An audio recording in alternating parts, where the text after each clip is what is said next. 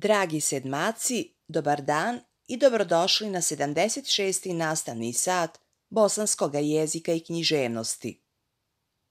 U književnosti postoje dijela koja čine prijelaz od književnosti ka nauci, informisanju i drugim vidovima saznanja. Takvi tekstovi se nazivaju naučno-popularni i informativni tekstovi – Predmet prikazivanja u tim dijelima jeste neki historijski događaj, život značajnih ljudi, savremeni život, stvarni život, biografije ljudi i njihova dijela. Naučno-popularni i informativni tekstovi pišu se sa ciljem da se predstave široj javnosti. Autor takvog teksta teži da interpretira informacije jednostavno, koncizno i zanimljivo. Na današnjem nastavnom satu upoznaću vas sa jednom svjetski poznatom ličnošću, a riječ je o španskom slikaru Pablu Picasso.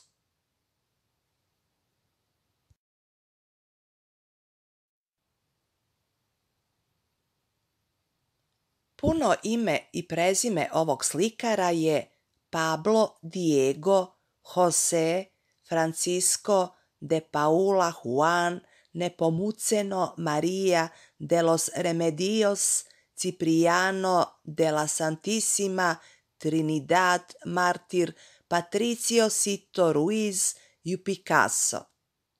Ime je dobio po različitim rođacima i svecima, a prezime Picasso je preuzeo od majke.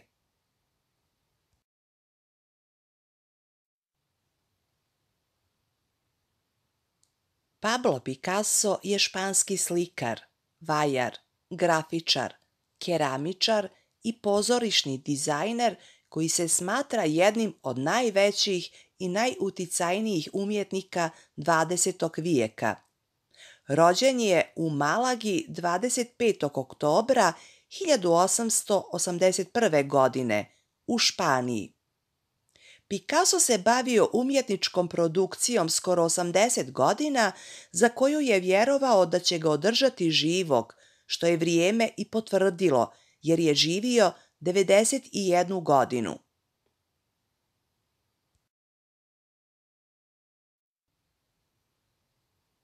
Ponekad je bilo teško zaključiti da li je Picassova umjetnost bila život ili je njegov život bila prava umjetnost.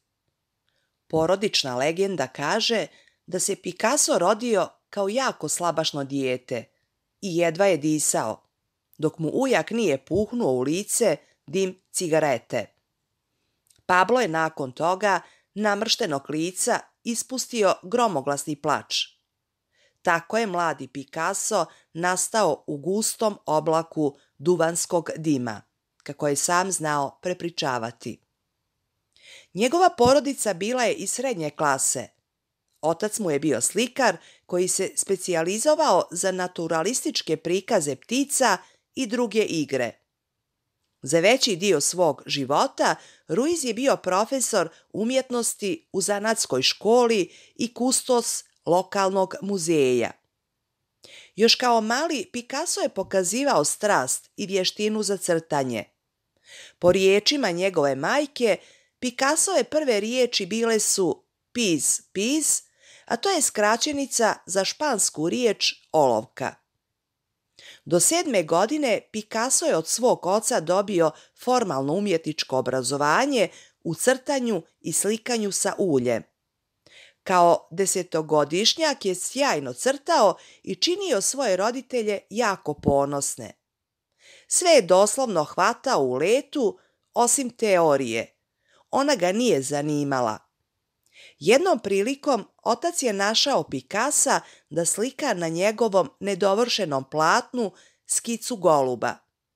Posmatrajući preciznost i tehniku svoga sina, Ruiz je smatrao da ga je 13-godišnji Picasso prevazišao i obećao da će da se odrekne slikanja.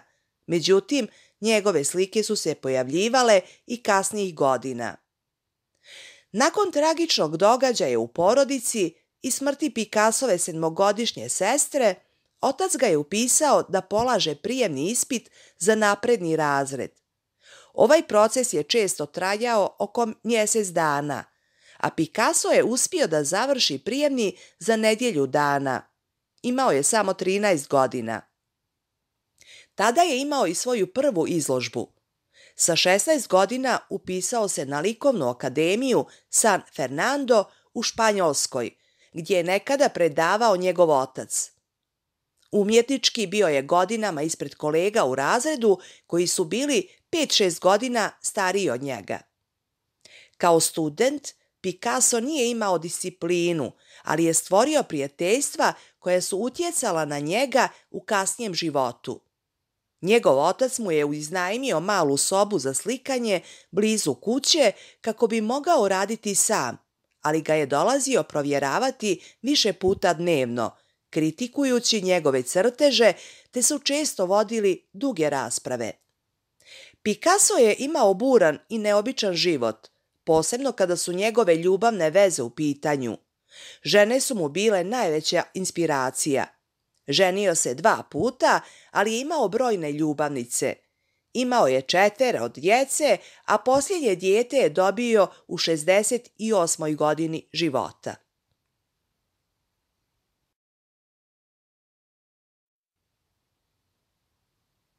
Gotovo da nema likovnog područja u kojem Picasso nije izrazio svoj umjetnički kreativni genij.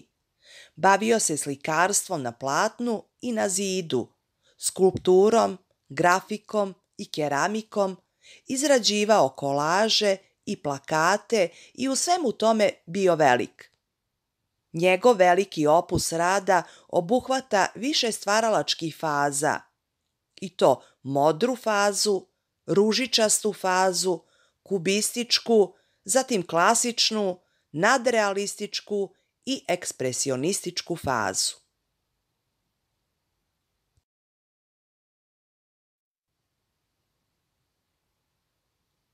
Plavi period koji traje od 1901. do 1904. godine. Modro ili plavo razdoblje je tako nazvano jer su različiti oblici plavoga nekoliko godina dominirali njegovim radovima. Na njegovim slikama iz tog razdoblja humanistički je oslikana ljudska mizerija u likovima slijepaca, prosjaka, alkoholičara i prostitutki. Neki kritičari vjeruju kako slike iz modroga razdoblja izražavaju njegov strah od smrti, siromaštva i bolesti.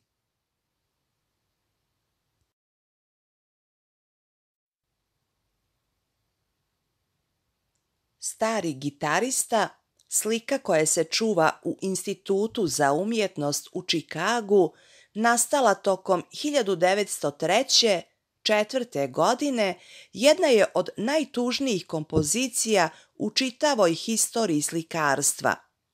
Figura suvonjavog svirača prekrštenih nogu djeluje izmučeno dok se nadvija nad svojom gitarom brown boje.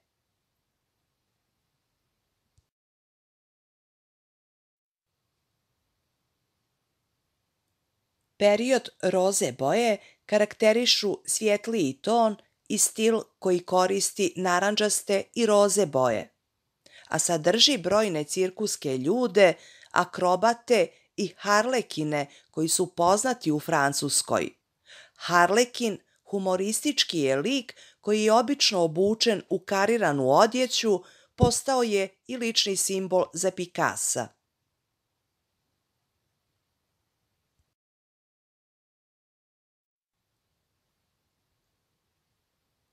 Dječak sa lulom. Naslikan na tokom 1905. godine. Ova slika koja je dio privatne kolekcije odražava Picassovu daleko živahniju, ružičastu fazu. Tako, dok je portret dječaka naslikan tehnikom ulja na platnu u odjeći plave boje, pozadinom kompozicije dominiraju oker i roze nijanse. Iako slika ne odiže preterano sretnom atmosferom, ispunjena je mnoštvom cvijeća i to kako u pozadini figure dječaka, tako i na njegovoj glavi u obliku cvjetnog vijenca. Iako likovna kritika dječaka sa lulom nije svrstavala u Picassove najbolje radove, tokom 2004. godine, a nakon prodaje za u to vrijeme rekordnih 104 miliona dolara, ova slika postala je jedan od najpoznatijih umjetnikovih radova.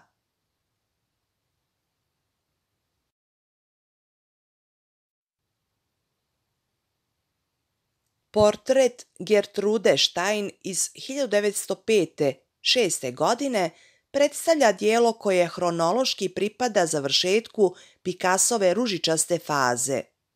Picasso i američka spisateljica Stein postali su prijatelji ubrzo nakon što se slikar preselio u Pariz. Čuvena po svojim nedjeljnim salonima na kojima je ugošćavala ljude iz različitih sfera društva, Štajnova je uživala utjecaj koji je uveliko prevazilazio književni svijet. Uz to, spisateljica je bila i strastveni kolekcionar umjetničkih dijela, te je predstavljala odskočnu dasku za slikarev dalji razvoj karijere.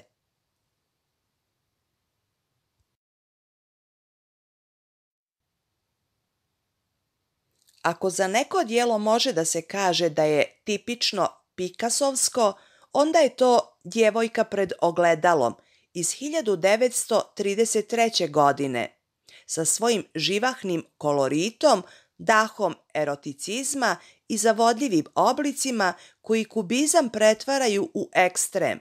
Stoga nije ni čudo što je i sam Picasso ovo svoje dijelo izdvajao u odnosu na druga.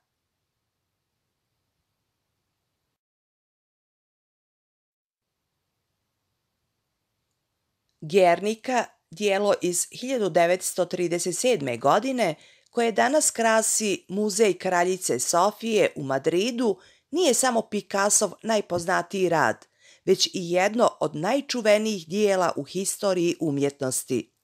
Smješteno u kontekst španskog građanskog rata, ovo dijelo slikava bombardovanje baskijskog grada Gernike tokom aprila 1937. godine – i ujedno predstavlja zloslutno predskazanje užasa koji će sa sobom donijeti predstojeći drugi svjetski rat.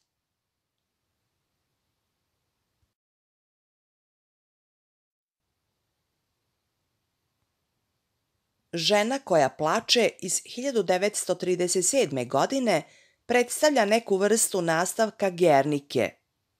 I dok Gernika oslikava stradanje, Žena koja plače istražuje emotivne posljedice rata iz ugla jedne od žena naslikanih u Gernici.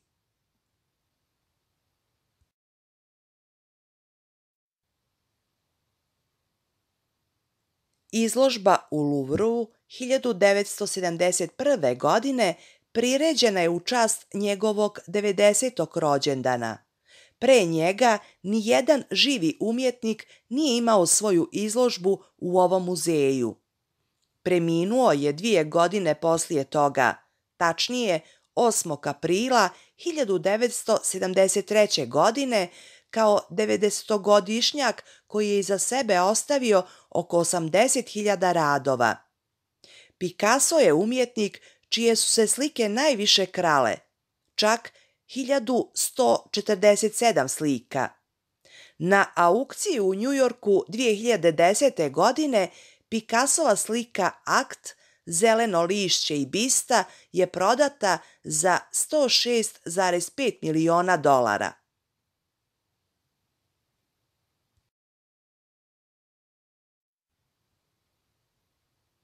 Pablo Picasso se bojao jedino smrti i zato je govorio Za sutra ostavi samo ono što želiš ostaviti nedovršenim, ako umreš.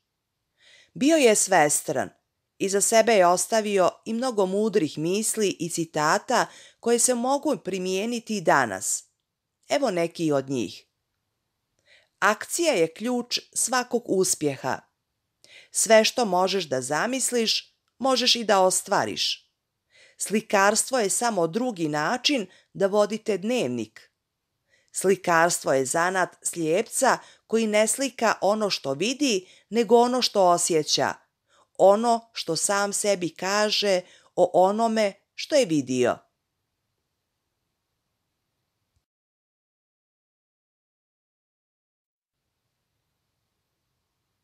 Dragi đaci, to bi bilo sve što sam vam pripremila za ovu nastavnu jedinicu. Do sljedećeg nastavnog sata. Doviđenja.